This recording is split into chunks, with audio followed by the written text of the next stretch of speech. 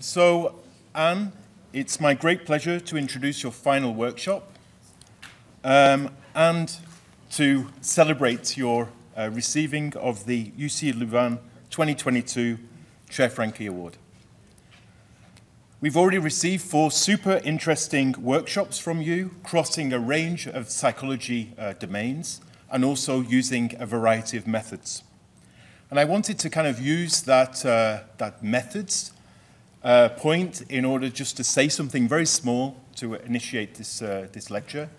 And I wanted to say that uh, Jan and myself, we've uh, developed in UC, 11, UC Louvain, we developed a methods course which is intended for bachelor students and master students. And we really set out this course to be based on qualitative methods and quantitative me methods in equal amounts.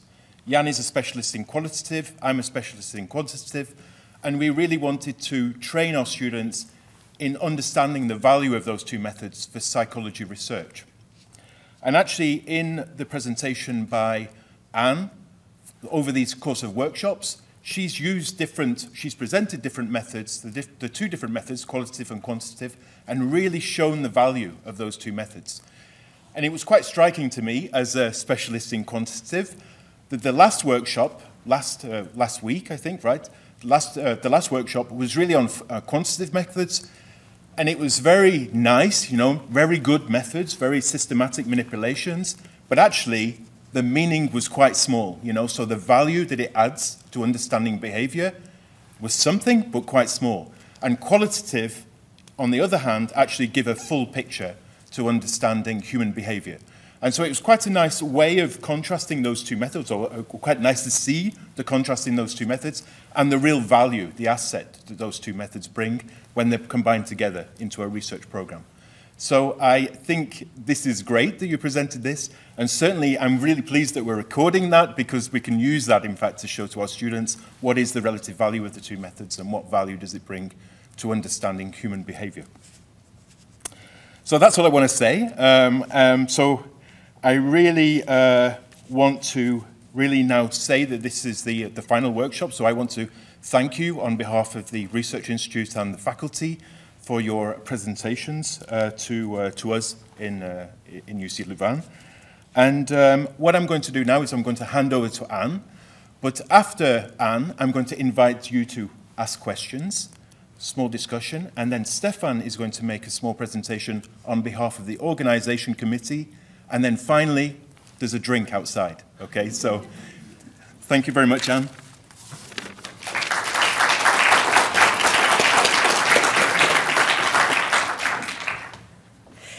Thank you, Martin, and um, good evening, everyone. I'm really, really happy that you are all here because the inaugural was still in COVID time, and then uh, there were only um, a few amount of people, so now I'm really, really happy that all of you are here.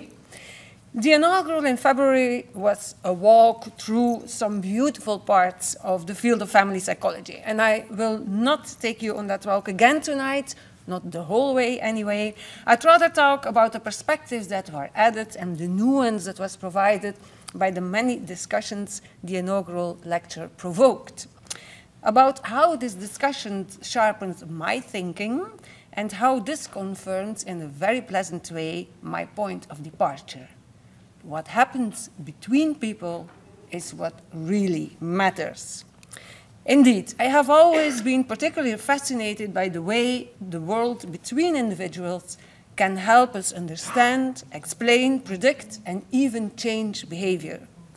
For how we uh, interact and relate to each other is very closely linked to who we are, what we think and feel, and how we behave. An interesting way to look at this interpersonal world is through a narrative lens. Through storytelling, by definition an interpersonal act, even with an imaginary audience, we learn the social rules, we form our identity, and we become culturally socialized. Stories enable us to stay meaningful in the world. They shape our lives.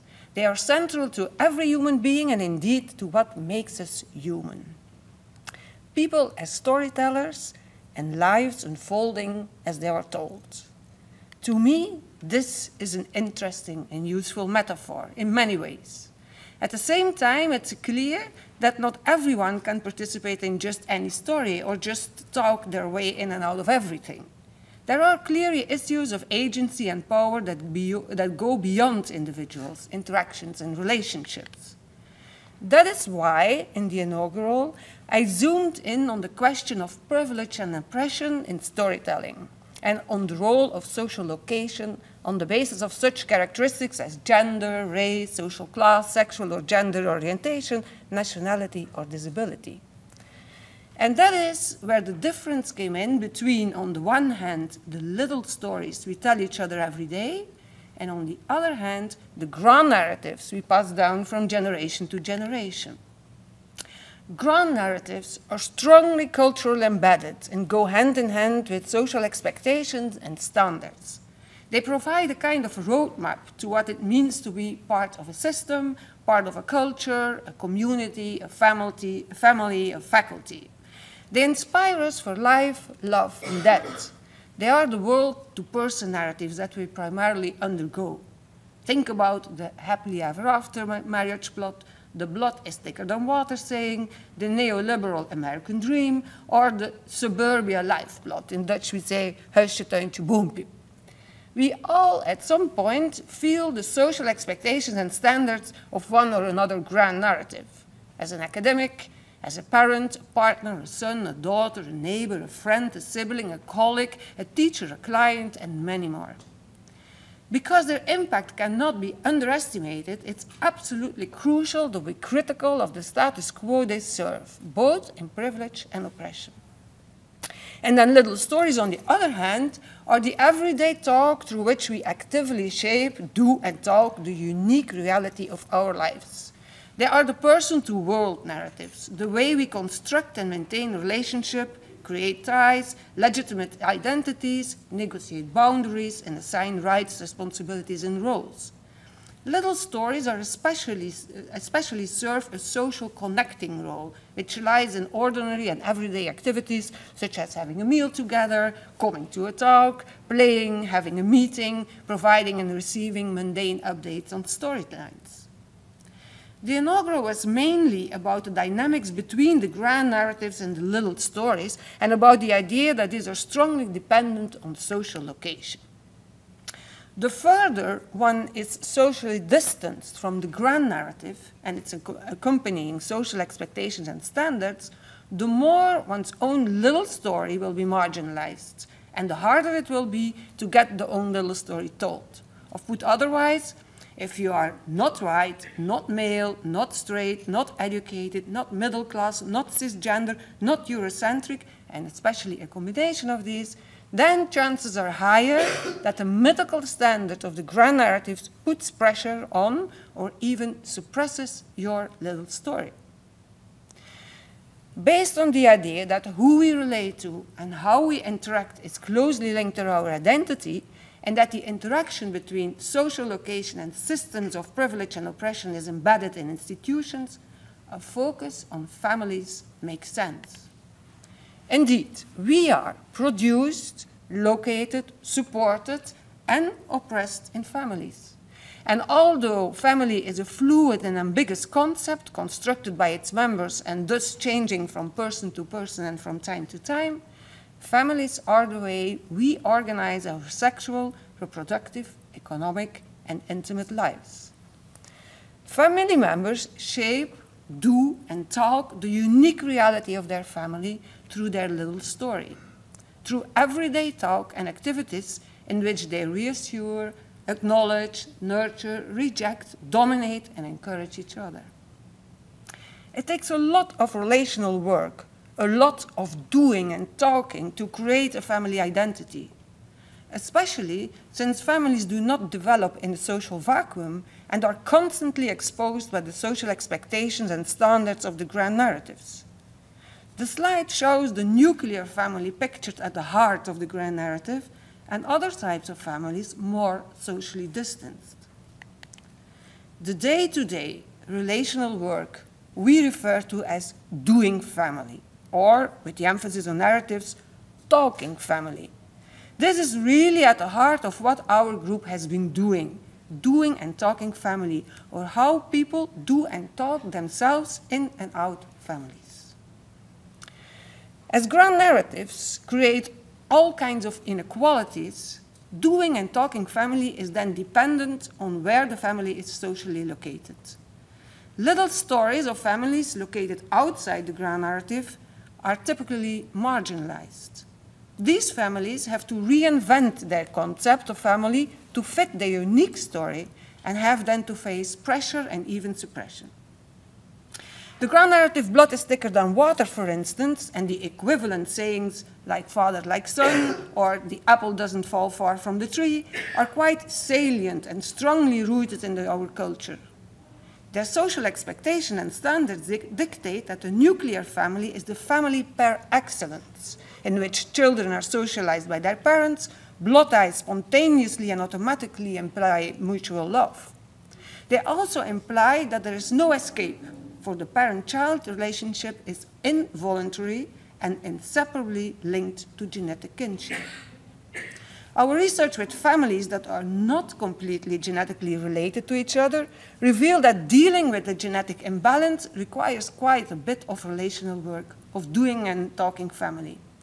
Lesbian families, for instance, are confronted with heteronormative traditions such as Father's Day or Mother's Day.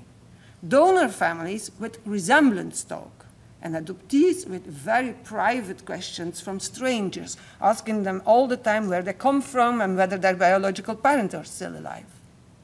In all of these cases, the confrontation with the outer world leads to feelings of being different, being outside the plot of the grand narrative, while the everyday experience within the family is one of simply being a harmonious, complete, and normal family. Socially distant families thus have to reinvent the concept of family to fit their unique story, which requires extra doing and talking. The larger symbols on the slide are therefore not an indication of louder voices, but rather refer to more doing and talking. A consistent finding in our research with families outside the plot of grand narratives is that their little stories contain ambivalent statements and inconsistencies. Families with a ge genetical imbalance, for instance, minimize genetics while at the same time consider it very relevant. That is, families typically and firmly state that there is no difference between genetically and non-genetically related family members. There is no difference. Only to contradict themselves within minutes. They express, for instance, a strong preference for using the same sperm donor for subsequent conceptions in order to create real kinship bonds.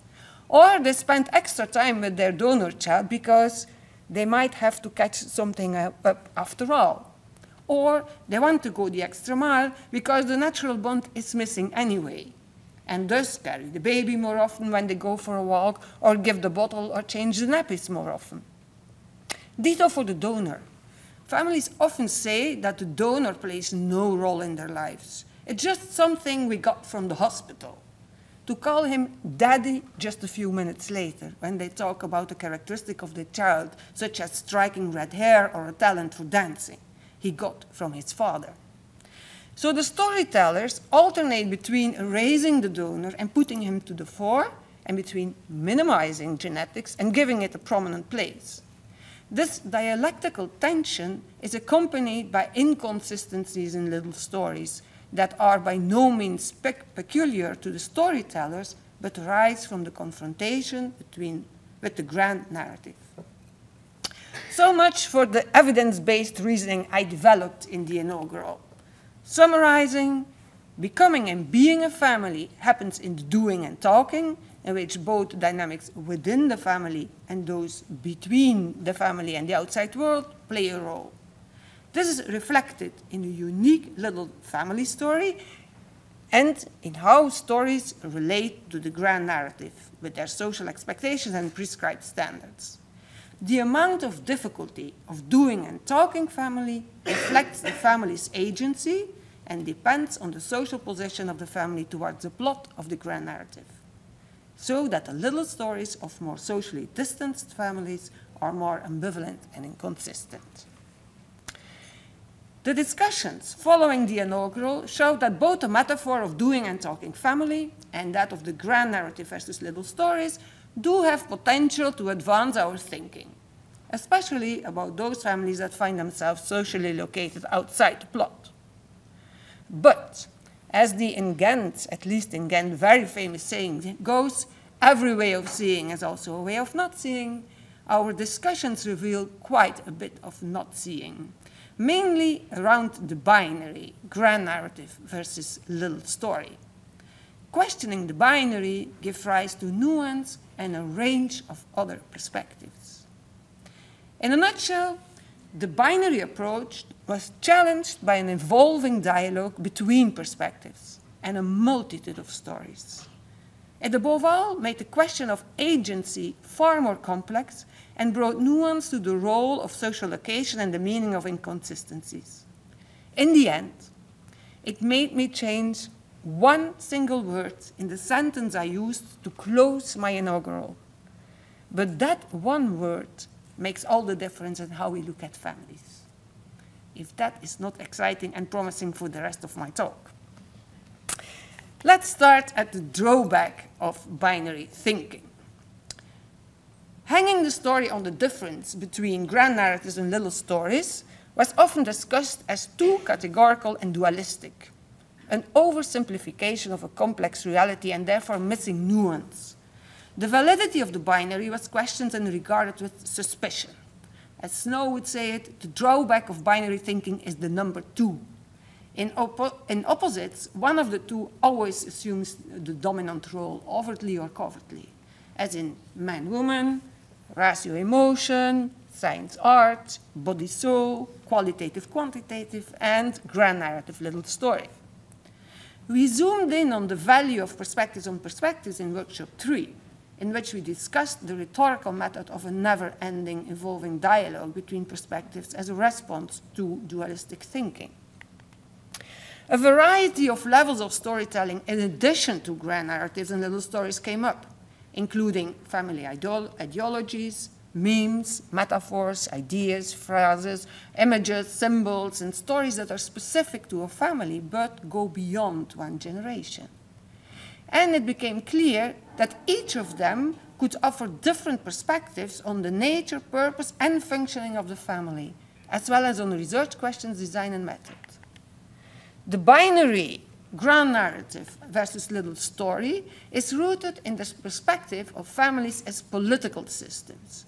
Families as the cornerstone of society that undergo the social expectations and standards of that grand narrative. From this perspective, it's very logical to study the little stories from marginalized families through designs that capture flexibility and acknowledge different and fluid ways of doing and talking family. It is clear, however, that this in itself is a reaction, a kind of, a kind of counter-narrative against a dominant research perspective in which families that are socially located outside the grand narrative are compared with families inside the narrative to find out what exactly the difference are. No matter how often reviewers insisted on such, on such comparative research, we always and consistently refused for any comparison of families is normative and based on an assumption of what a control or normal or healthy family is. Such a research design would serve the status quo because we, what, ex what exactly is such a controlled, normal, or healthy family? A family that conforms to the narrow social expectations and standards of the grand narratives? So, a cisgender, heterosexual, Eurocentric middle class family? Paradoxically, however, this counter-narrative and anti-categorical attitude in research methods goes hand in hand with a categorical and even binary perspective on stories and their role for family identity. In the discussions we had, it became very clear that this way of seeing is absolutely also a way of not seeing. It is probably close to what Burke would call a trained incapacity, how a story allows us to think and act in a particular way, but also prevents us from, be, from choosing alternative ways. And these alternative ways did came up and included, for example, families as living organisms or systems in flux and transformation. If you look at families as systems in flux and transformation, you end up with a completely different research design with more dynamic and less static top-down processes. Another perspective is to see families as instruments of domination, close to the feminist reading of, fam of families as oppression and status quo of gender roles. There were certainly traces of the dark side of families in some of our family stories, although the critique of the ideology of love and, and that emphasis oppression was never part of our research design or questions. Some of the stories were very close to yet another perspective on families, namely cultural constructs, with, for instance, the family of choice or family as a warm nest. And of course, these different perspectives can intersect in complex, sometimes paradoxical ways, so that most likely no single perspective is unambiguously problematic or stigmatizing, nor good or empowering. This was precisely the focus and the discussion in the second workshop around what Chimamanda uh, Adichie so rightly describes as the danger of a single story. Adichie convincingly argues that who we are who we are because of a lot of stories. And indeed, families are who they are because of a lot of stories. Because of the story that the family is different, being blended, adoptive, single parent, foster, disabled, divorced, donor conceived, sexual minority, interracial or poor, but equally because of the story that the family is similar, being harmonious, healthy, and normal. That puts the significance of inconsistencies in families in a very different perspective. In the inaugural, I emphasized that inconsistencies are signs of dialectical tension. That idea is consistent with the binary approach. Opposites result in dialectical tension.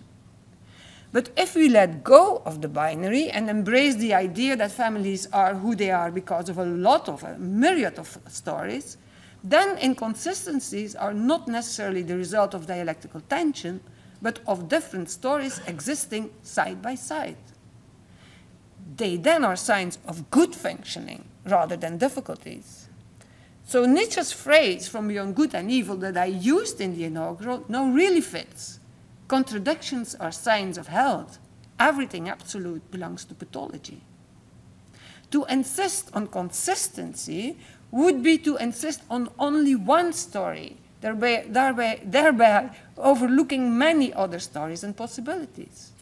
A single story creates stereotypes, and the problem with stereotypes, Adichie points out, is that they are incomplete. They make one story the only story. So the story that the donor is something the family got from the hospital is one story. And the donor and the story that the donor is like a father is just another story. It's not a contradiction. It's just another story because of which the family is who the family is. And many other donor stories can exist side by side. In fact, the words family members used to refer to the donor are very diverse and illustrate many different stories because of which they are who they are. In some stories, families position the donor in relation to the nuclear family.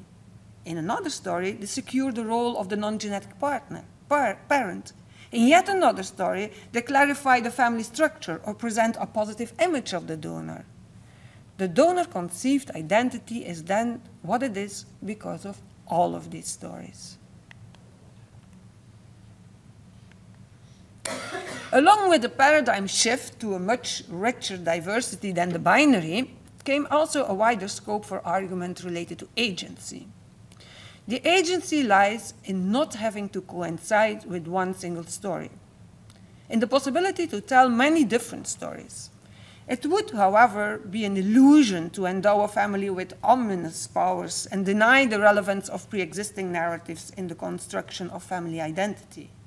Not every family can just tell themselves in and out everything. The social expectations and standards of pre-existing narratives do impact family stories. There are issues of power and status quo, both in privilege and oppression. At the same time, family stories can talk back. To understand the agency direction of fit between the family and the world and who is in control, we focused in the second workshop on power and agency in both the world to family and the family to world fit. We discussed that stories can both reflect and make reality. When stories reflect reality, the focus is on how lives are constructed by pre existing narratives and how language is transparent and provides insight into what to study. This side of the spectrum leaves rather little space for alternative stories or agency. On the other hand, the focus is on how families are agentically uh, constructing their lives by engaging in storytelling. The family is then seen as agentic and uses language to create reality. There are indeed cases where it is precisely in family stories that the agency emerges cases in which families talk back to pre-existing narratives. Oppression and inequality, for instance, occur in families and have serious negative consequences. The standard that family relationships are non-voluntary leaves no room for an appropriate detached response to inequalities, abuse of power, or conflict. However, in such unhealthy family situations, the status quo cannot be tolerated. Our research on divorce and children, for instance, has shown that children have difficulty dealing with family conflict. In this sense, divorce can be a very healthy response to an unhealthy situation if it creates a less conflicted family environment. To divorce is to stop something that no longer works. Here, the agency lies in the story of the divorced family that talks back to the standard of the indivisible nuclear family. Bringing these stories out into the open can ensure that family estrangement and distance is no longer a taboo, but also a story that can be told. One story alongside many other stories of love and understanding in families. However, distance in families cannot be narrowed down to one story either. For some, it's a sign of love. For others, it's a healthy reaction to an unhealthy situation. The possibilities of how family members relate to each other could be much more diverse and richer if more different stories could be told. In our discussions, many more complexities occurred of the talking family metaphor that go beyond the agency direction of the fit between the person and the world, such as the difficulty of identifying tellership. All, all stories are told in interaction, and thus negotiated by multiple co-tellers that all contribute including the invisible ones and the listeners. After all, a story tells as much about the teller as it does about the audience to whom is it told. I was only too aware of that when I wrote this story. Many of you were very prominent in my head. The question of who owns the tellership is closely related to the question of who has the agency. Stories are complicated in the sense that it is difficult to disentangle who is telling what let alone who is telling what role or who wants to be understood how. A related issue is the exclusion from tellership. Those who are not part of the storytelling do not learn the social rules, do not get socialized, and are not part of relationships, groups, communities, or society. Or one could also say that just by being an outsider, they do influence the storyteller, but identify in a negative way. Think about women and old boys networks, black sheep, newcomers in a culture, people in poverty, or families that deviate from the standard. It makes a substantial difference whether you are in or out the story, whether you can or cannot participate in the storytelling. The fact that stories are embedded in interaction makes them particularly difficult to study in research, stories are in fact covered by an extra layer of post hoc construction and a reflective discourse in which family members want to present themselves in a rational, logical, and coherent way. The story does not surface in the family context, but in the context of research. It is therefore a meta story in which family members explore and present the self at the level of the talked about, as a character in a new story. Here, too, the idea of tellership is important because the here and now of the research context and the researcher fully participate in the storytelling. That is why talking science differs from talking family because a new story is created. In many cases, for instance, the questions we ask the family members seem to challenge them in the sense that they brought to the fore issues that hardly ever surface in their everyday interactions. Think of the donor conceived families. It happened that interview questions confronted them with a genetic imbalance, whether in everyday life they considered themselves to a complete, normal, and harmonious family. The issue was discussed on several occasions, leading to a critical awareness of the different assumptions or logics in which the family members and researchers' metaphors are grounded, and to reflection on the power imbalances, politics, and ethics that underpin family research. After all, talking science is a story in itself, with its expectations and standards, and creates new stories in co-construction with the families. So far, we have zoomed in on the importance of how many stories are told, how they are told, and who tells them. What remains is the role of social location. As you may recall, I started using social location primarily to situate families in and out the central plot of grand narratives, where socially distanced families have to do the extra doing and talking to get their story told.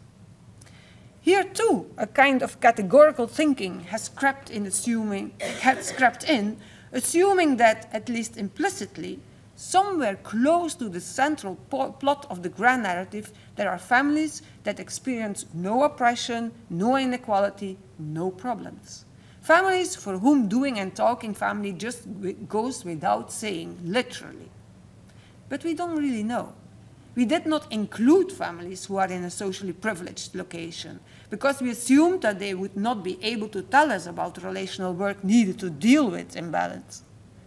However, given the nuance that was added that all families have a myriad of stories to tell and that the inconsistencies between these stories is, are a sign of health rather than stress, all families might have difficulty in telling one or another story.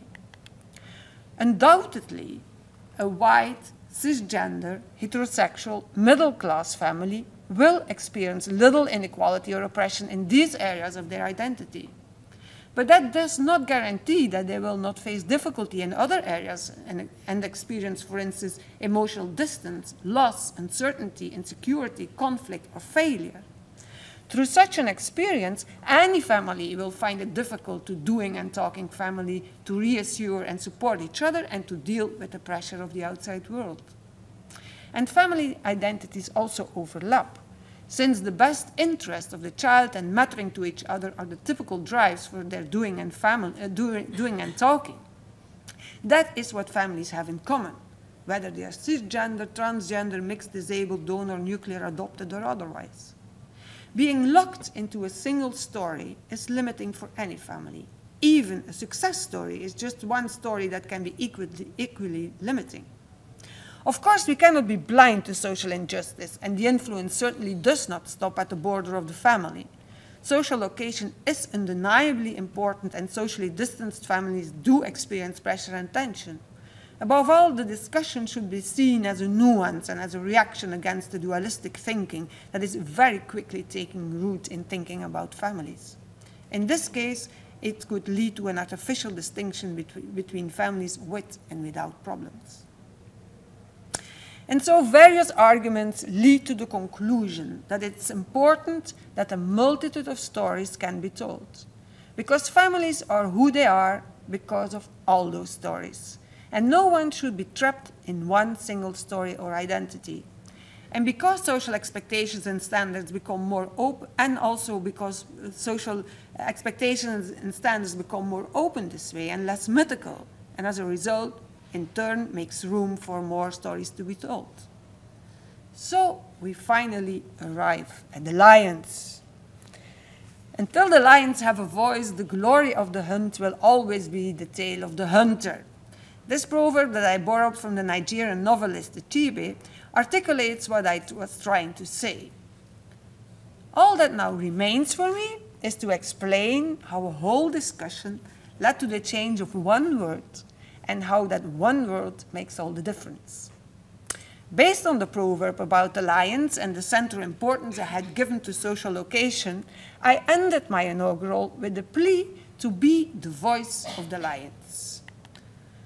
After a convincing discussion, however, it became crystal clear that we cannot be the voice of the lions. What we can do is give voice to the lions. This one word difference does reflect a very different vision. And that's important, especially when we are talking about science. Doing science, we make decisions about the stories that are told, about how they are told, and about who tells them. We not only tell someone else's story, we also have the power to make it the definite, the only story of that person, or to give that person a voice to tell many stories. If we give the lions a voice to tell their many stories, we will have to deal with ambivalence and inconsistency in our research. And so inconsistency is an interesting research topic in itself. It is not necessarily noise, and we should not question inconsistent individuals. They may think very carefully about questions and answer them with equal thoughtfulness. It is simply impossible to deal with people without dealing with all their stories, including the contradictions between them. It's about what uh, calls a balance of stories. A balance of stories. Another beautiful metaphor. Definitely a way of seeing, just as surely a way of not seeing, that will again provoke nuance and new perspectives. This is exactly how science advances through an ever evolving dialogue. It was an absolute privilege to participate in that dialogue through the Francqui chair at UCLouvain. And I want to thank all of you very sincerely for organizing, for listening, for speaking, for bringing perspectives to perspectives. I hope we will continue the dialogue because there is one thing I'm really convinced of, and I always will be. What really matters is what happens between people. Thank you.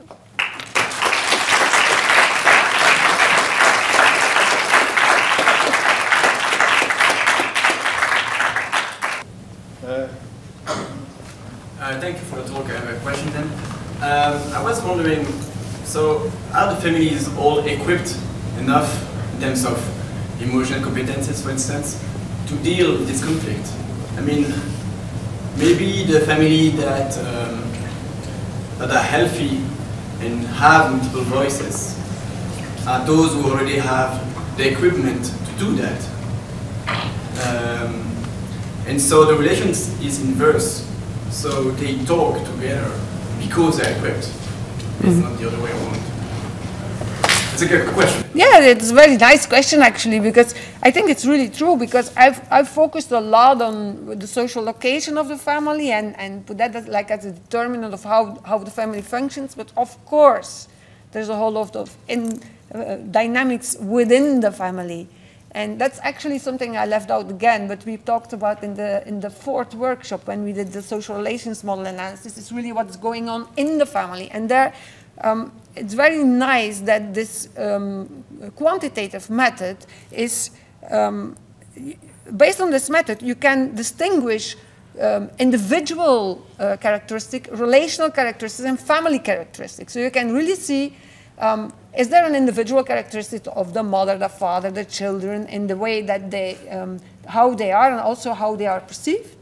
And then are there unique things within relationships? Because there could be a dysfunctional relationship. It could be that what the conflict is, for instance, in the parent and in the father-daughter relationship, and the rest is healthy. Yeah, and it can, it can also be a recipro uh, reciprocal uh, thing or not. Yeah, and then it could also be a family thing. Yeah, it could be that in that family there is something, there is kind of a culture or or a way of of handling things that is very different from other families. And that, so it's a very good question. It's something that I left out of the, of the talk that we discussed in the fourth. Uh, um, that's what Martin said, the quantitative work that I uh, tend to leave out. it's, it's very true what you say. Thank you very much for your talk. I was, uh, your talks, I was very interested in them as I am myself a non-normative uh, family. And um, in your first or second talk, I don't remember, you, you give um, a number of examples of these inconsistencies that can be found in the discourse of non-normative families, and especially uh, lesbian families. And I reflected on these and on all the inconsistency that I could also perceive in normative families uh, that surround me. For example, um, my neighbor saying, a, a man, uh, women are terrible drivers, only to contradict himself a minute later by saying that women are those who must do the, you know, the extracurricular uh, journeys to, uh, the, the journeys to extracurricular activities, and that's not man's role. And um, uh, in my friends, I, I hear a lot of women saying like, men really suck at parenting tasks, only to complain a minute later that their husbands are not involved enough in parenting. And so um, I was wondering, uh, based on all your research, what is the, what would be the difference between the inconsistencies that can be found in non-normative families and the inconsistency that inconsistencies that can be found in normative families. Yeah. Do they differ in numbers, like Yeah. or qualitatively? What would Yeah, okay. Yeah, very nice question. Actually, uh, it was because of the comment you give that I started reflecting on, because you said, and it's really true, I, I focused too much on inconsistencies or really characteristics of socially distant families because of this tension between grand narratives and little stories. And then you said, no, I can also see that, that there are in, in normal, in, in, in families that are very central in the grand narrative. And then I started reflecting on this, and I think you're right. First thing is, I can't answer from a research perspective because we didn't include them, yeah? So because we didn't want to be anti, uh, categorical, and being so anti-categorical, we were very categorical. Yeah, that's what I was trying to say. But the thing is, what I presented today, I think that um, because we are by so many stories, that the story of uh, women are bad drivers and women are responsible for uh, outdoor uh, um, activities, that they could coexist. It's, uh, th that, that could well be, because it's another part of, how, of, of looking at women and things like that. So I would say, luckily your neighbor doesn't only say that women are bad drivers, yeah, that he also has another story on, on women, that he contradicts himself. It's probably not because of the, of the clash with the grand narrative, but it's because for him, we, women are what they are because of many stories. And that's exactly, I think, the point that I wanted to make today, that, that we should just live with that. It's, it's not um, a sign of tension, it's more a sign of being healthy, yeah?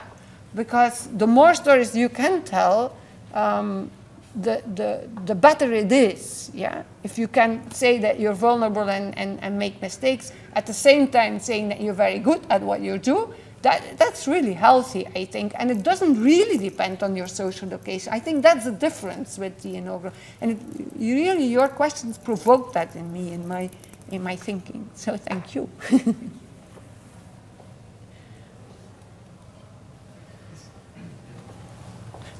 now I'm afraid. I know this person. Is that a small or a grand narrative? No, I have a question on, on voice, and I, come from a different, uh, from a social sort of pedagogy, but because we had this discussion on you cannot, I, I understand your, your shift from be the voice to give the voice, which, which I would agree with, but I would go a step further that we, we also cannot give a voice, it's about they have a voice, yeah. and it's, it's on us to listen and to. Yeah. And I was, I was wondering how you look at the notion of verbality also. What do you, what is voice and a narrative? And I work with vulnerable families, of course, or which can hitting your child be a, be a voice? Yes. Or is it, is it a narrative in terms of Words, no. knowing what happened in your story, in your story, or and being able to explain it and in a way hmm. that the other person understands it, or, Yeah. or is it our capacity that we need to listen to the line that Yeah. maybe bites us sometimes?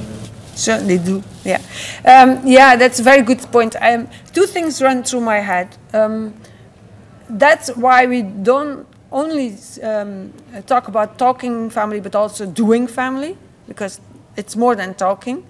And the second thing is, I in the inaugural, I, I started with that that um, what happens between people doesn't have to be um, verbal at all. And I give the example that if you, for instance, we, um, after this question, two, two days later, we meet, you're on the other um, side of the street and I wave to you and you don't wave back, yeah, that's something that will um, iterate in my head and I will think, what's, what's going on? Yeah, is he still mad at me because I answered it completely? but so it doesn't have to be verbal at all. It doesn't have to be intentional at all. And I, it, yeah, but it's it's very good because I left it out and it's true. It's uh, and that's I think why doing family is also very important. It's also like having a meal together and doing our, all kind of things that are not verbal. Yeah, absolutely. And I agree also with the, with the voice, they have a voice. It's more like, yeah, let us listen to the voice. So I, will change it again. and to go together with really a step beyond. No, I'm really afraid. no, no, it's also about ownership. Mm -hmm. we, we, we have that little song in, in Dutch from Boudewijn de Groot, Tante Julia. Mm -hmm.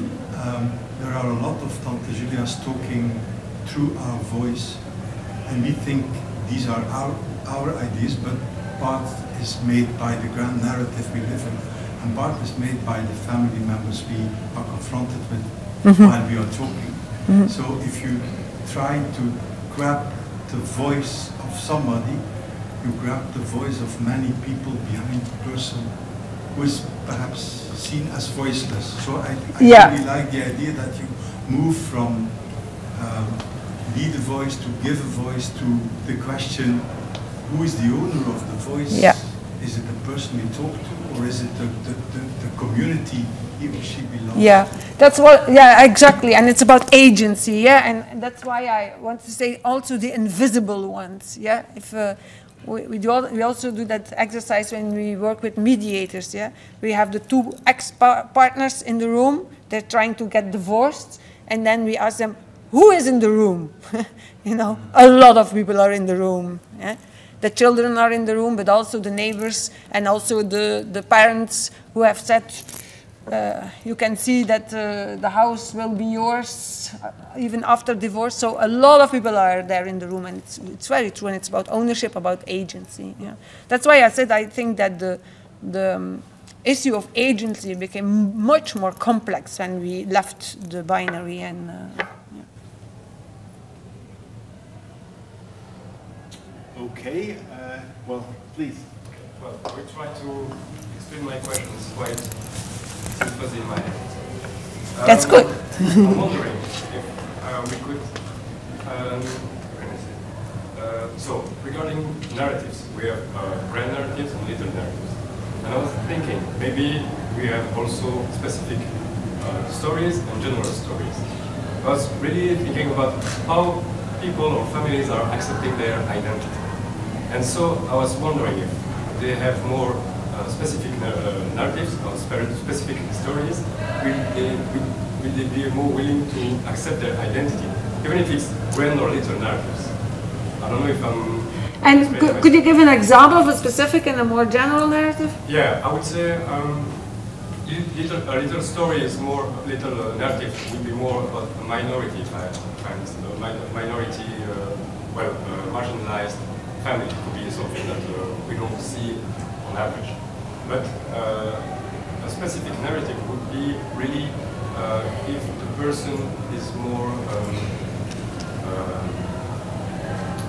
is more conscious, conscious, is, is more conscious about uh, something like I'm who I am because this specific event, mm. this specific, I, am um, linking it to the yeah. autobiographical. It's at the core of my identity. Yeah, yeah. and then more, it's a, it's yeah, yeah. Uh, more distant. Yeah, yeah.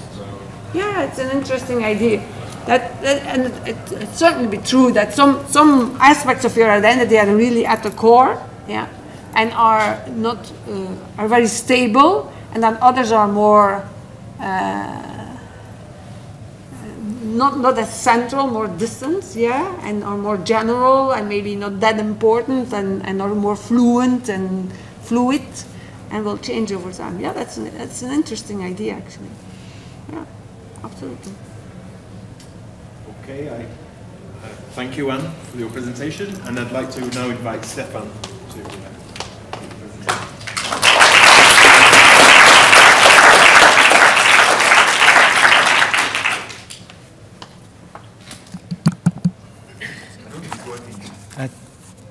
I don't think it's working, so I'll try to speak out loud. Uh, cher Professor Buysse, beste Ann, um, I'd like to say a few words on behalf of the organizing committee of the 2020 uh, Francqui Chair. Um, and as we are a mixed audience, Dutch and French, I use the good Belgian habit of saying things in English. And um, I think it's uh, the best way also to communicate. Communication is important. When the organizing committee um, made the choice of inviting you as the laureate of the 2022 Francqui Chair uh, in psychology, we took a safe bet. And pardon me for making uh, maybe some commercial advertisements for betting. That was not my intention. But we made a bet because we knew, of course, that uh, you have an excellent reputation as a researcher and as a teacher. And we knew that we were going to have an excellent series of lectures ahead of us and that we would all learn from it. It would be very complementary also to our teaching and our research here. And I can tell you, you did not let us down at all, on the very contrary. The five lectures that you gave us, or actually, I should say, two lectures, three workshops, and I know you preferred to give the workshops to the lectures, they gave us a wonderful insight uh, and a wonderful flavor of your research in family processes, family psychology, and more precisely, the processes of influencing uh, in families on various topics like blended and reconstituted families, adoption, attachment, family therapy, donorship, divorce, uh, same sex families, and so on. Um, one could think that with such a list of, uh, of heavy handed topics, this would be difficult to digest, but that was definitely not the case. Um, as a very good chef, you did not make difficult things very difficult to digest, but you gave them to us in the form of, I would almost say, a smorgasbord of nice things to choose from, to savor, to, to taste from, and to learn from. Uh, and so we learned about things like grand narratives and small stories.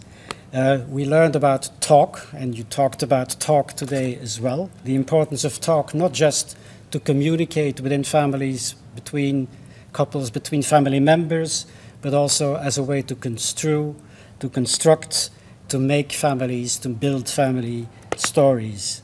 We learned, as you mentioned again today and illustrated, and uh, as also was mentioned before, we learned about qualitative and quantitative met methods and how they can, can, can really complement each other in understanding more and to not stick to the, the, the paths that we all know and like to sometimes follow while there's so much else out there. We learned about culture and context and how they influence families. We learned about the importance of contradictions and the fact that contradictions are acceptable and necessary. We learned about inconsistencies, we learned about agency. All of this, uh, I think, was really spread out before us and we could taste like a smorgasbord.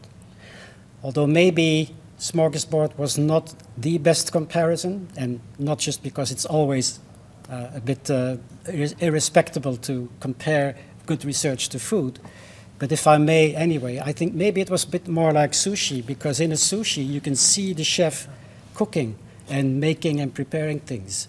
And this is also what you did.